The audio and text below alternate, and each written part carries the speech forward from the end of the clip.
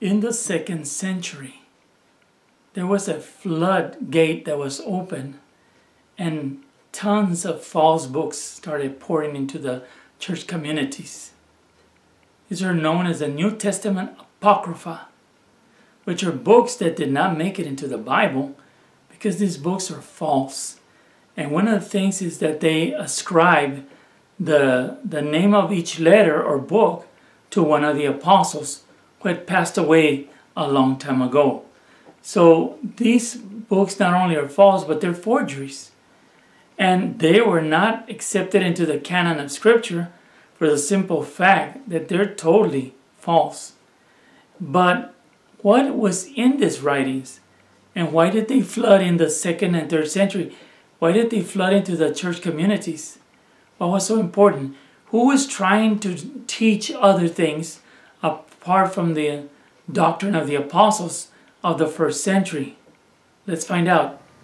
The Didache is a false book. Can we trust it? No. The name of the real name of it was the teaching of the twelve, but not one single apostle had anything to do with this writing. Important to note. The Gospel of Thomas, where Jesus endorses the Trinity and nude baptism. Notice both of these things were practiced by the Catholic Church. The Acts of Peter. Peter endorses Trinity baptism. If you look through the book of Acts, Peter never baptized in the name of the Father, Son, and Holy Ghost. The Gospel of Philip talks about the Eucharist. And of course, the only people using this uh, in their communion were the Catholic, the Catholic Church. Proto-Gospel of James teaches that Mary never lost her virginity. She's still a virgin, and that's why they call her the Virgin Mother. But this is not what the Bible teaches. This was taught by Ignatius of Antioch in the second century. And we ask the question, was it Ignatius who wrote the Proto-Gospel of James to prove his false doctrine?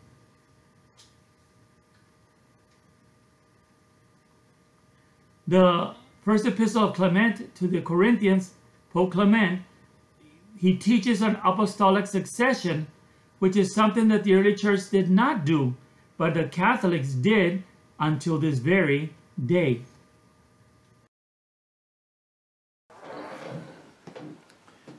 I'm going to confine my teaching today to only a couple of themes, but there are many themes that we can look at in the New Testament Apocrypha. But the first one that we're going to look at is Trinity baptism. It says in the Didache, baptize in the name of the Father and the Son of the Holy Spirit, but if you have neither running water or, or still water, then it says pour water on the head three times in the name of the Father, Son, and Holy Spirit. Why is this important? Because baptism in the New Testament is not to baptize three times, and it's not to pour water on the head. There was someone was changing the baptism slowly, and in the second and third century, we find that certain bishops already started practicing this, baptizing three times, first in three immersions, and then it changed to pouring. And as we know today, the Catholic Church sprinkles or pours water on the head three times.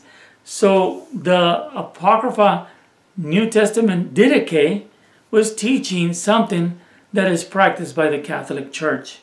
And then the Acts of Peter says, Peter let himself down by a rope and baptized them in the name of the Father, Son, and Holy Spirit. So as you can see, the Acts of Peter is also an Apocrypha New Testament book, and it also alludes to baptism in the Trinity, Father, Son, and Holy Spirit. Why is it that these books are false, yet they're teaching Catholic doctrine? You have to answer that yourself. I have already uh, answered that in my heart, but you need to answer that. And then listen to this one the Coptic Gospel of Thomas it says, Jesus said, Where there are three gods, they are gods. Where there are two or one, I am with him. This is the Apocrypha book of the Gospel of Thomas saying that Jesus believed in a Trinity. He believed in three gods or two gods and he was with them. But the Bible doesn't teach that. The Bible teaches that Jesus uh, was in one uh, in accordance with the Shema of Israel, as is recorded in Mark 12 29. We know that from Scripture. Jesus never alluded to a Trinity. So here you have the Apocryphal books of the New Testament teaching Catholic doctrine in the second and third century. At the same time that the Catholic fathers were starting their religion. It's at the same time that this book started flooding. Interesting. Now, one of the things that we know, because Hippolytus, the Bishop of Rome, told us in his writings that they baptized three times, three immersions, and in the nude. Now, is that found in the Apocrypha? Listen to this.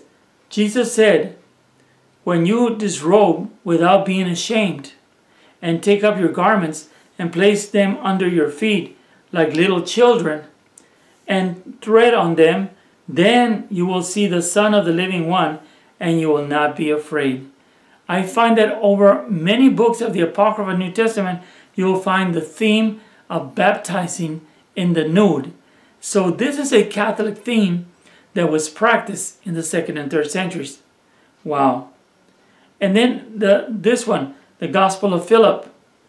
The Eucharist is Jesus, where they call him in Syriac Pharisatha, which is the one who is spread out. So the Gospel of Philip, which is a false gospel, is teaching the Eucharist. Wow. And then what about the, one of my favorite ones is the Proto-Gospel of James, where it talks about this. Well, let me read it. Then Salome inserted her finger in order to examine her condition.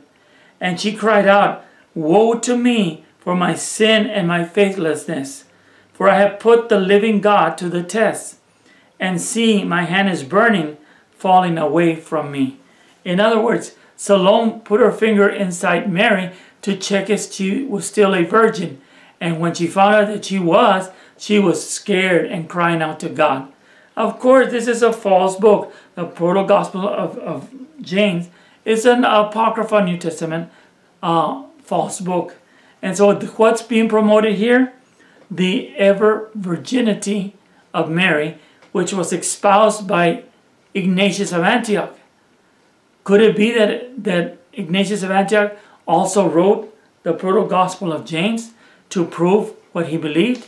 I'll let you think about that. Very interesting. And I'll give you one more.